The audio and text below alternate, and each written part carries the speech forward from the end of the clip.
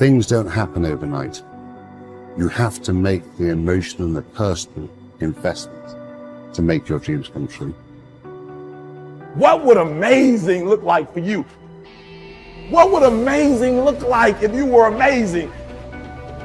If you know what amazing looks like, then why haven't you gotten there yet? I want you to say, the reason I'm not as amazing yet because I hit the snooze button. That's why I'm not amazing right now. The reason why I'm not amazing right now is because I couldn't get up early enough because I told myself I'm not an early person. The people in the world become weaker people. It's by capping your brain. It's by putting this kind of garbage in it about not attacking what you're not good at. There is no shortcut. There is no hack. There's no sweatless solution. You you're gonna have to work. There is always weakness to work on. Always. A lot of them. Why would we allow ourselves to make easy, easy excuses? Why would you allow that? It's not what happens that determines the major part of your future. It's not what happens. What happens happens to us all. That the key is what you do about it. It's not what happens, it's what you do about it. Stop being a lazy, bum ass person that's full of excuses, sitting around on the pity potty, coming up with every excuse in the world as to why you ain't winning. You are the reason you're not winning. Unaware and understanding that this thing that we are dealing with right now in our lives is only temporary. It's temporary and it will not last forever.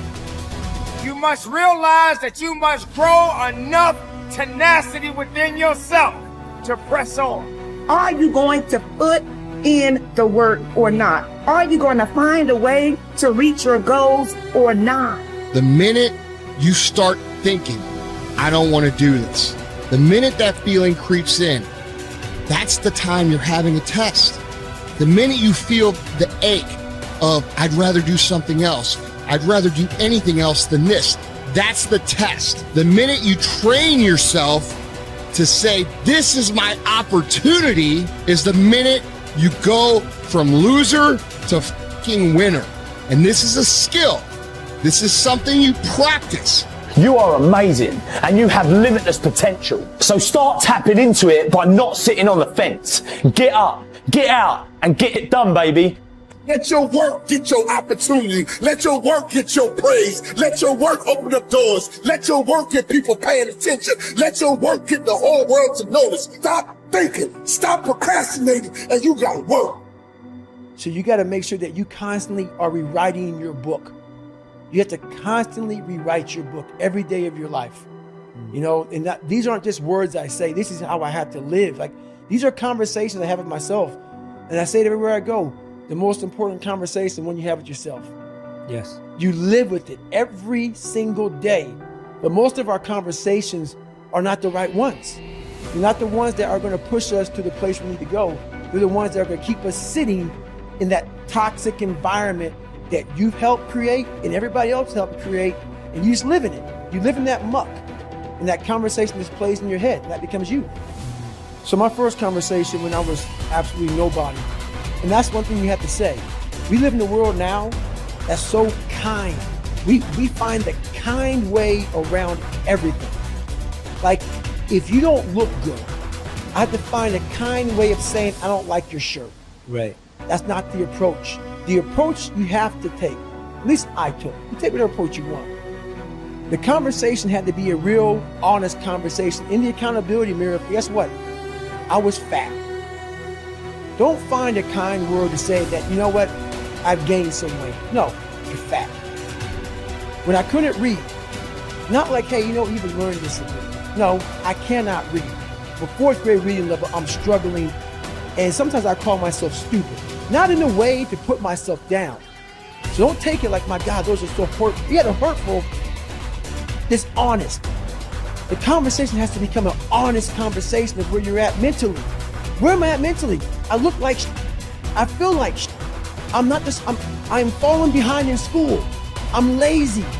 My house is a mess. You have to look at what it is and call it what it is. Don't find words to make yourself feel better because that's what So we hang around people that make us feel better, that tell us what we want to hear, not what we need to hear. And so we stay away from those people. And we stay away from those people, like our internal dialogue becomes that kind, it's okay. It's not okay. So that's where it starts. It starts with that accountability of it's not okay anymore. This can no longer be okay. And calling yourself out for exactly what you are and exactly how you need to fix it. That's where it starts. Take full responsibility for your life. Accept where you are and the responsibility that you're going to take yourself where you want to go. Someone said we have two primary choices in life. We can either accept conditions as they exist, or we can take the responsibility to change them. See, a lot of people want to exempt themselves from taking responsibility. All they want to do is talk about the problem. Every time you see them, they'll tell you their story over and over and over and over again. No, no. You want to take responsibility for your life. I got me here, I can get me out of this. And I'm getting out. I'm not going to be a volunteer victim. George Bernard Shaw said there are two kinds of people in life. You know, he said those that make things happen, those that watch things happen, and those that don't know what happened. And he said the people that get along in this life look around for the circumstances that they want, and if they can't find them, they make them. They create them. So part of beginning to get unstuck, you've got to decide that the behavior pattern that you have adopted doesn't work for you. You've got to change your strategies, and changing your strategy means reinventing your life. Recreating you, and you have the power to do that.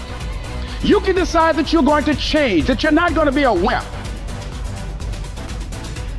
You can decide that you're going to stand up to life. You can decide that I'm going to live each day as if it were my last. You can you have the power to make that decision. You can decide I'm going to work on myself and develop myself. I'm going to empower me. And all of these things that are happening to me right now, they're just temporary inconveniences. They're not stronger than I am. I'm in charge here. Your self-confidence is closely connected to your self-esteem and to how much you like yourself. Dr. Nathaniel Branden calls self, esteem your reputation with yourself. It is how you feel about yourself and your abilities in relation to any situation that determines how much you like yourself and consider yourself to be a valuable and worthwhile person. The more you like yourself, the better you do. The flip side of self-esteem is what psychologists call self-efficacy. Self-efficacy is a measure of how effective and competent you feel you are to perform a particular task or to achieve your goals. This is called performance-based self-esteem. What this means is that if your self-confidence and your belief in yourself are determined by your self-esteem or how much you like yourself is determined by how capable you feel you are in any given set of circumstances. For example, if a problem comes up at work or home, and you are so familiar with it that you can solve it quickly and correctly, your self-efficacy and your self-esteem goes up. You feel more capable and confident and more willing to take on other challenges and difficulties. You feel more positive and optimistic. You feel like an excellent person. If, on the other hand, a problem or difficulty came up and you were unable to do anything to solve it, and you felt frustrated or ineffective, your esteem would suffer and your self-confidence would go down. You would feel negative about yourself and your abilities. You might even become angry or depressed. You would feel powerless rather than powerful. That's why they say in playing poker, the winners laugh and tell jokes while the losers say, shut up and deal. The law of cause and effect applies to everything you are today and to everything that you become. If the effect that you desire is high and unshakable, levels of self-confidence, then it is necessary that you engage in the same behaviors practiced by others who enjoy high and unshakable levels of self-confidence.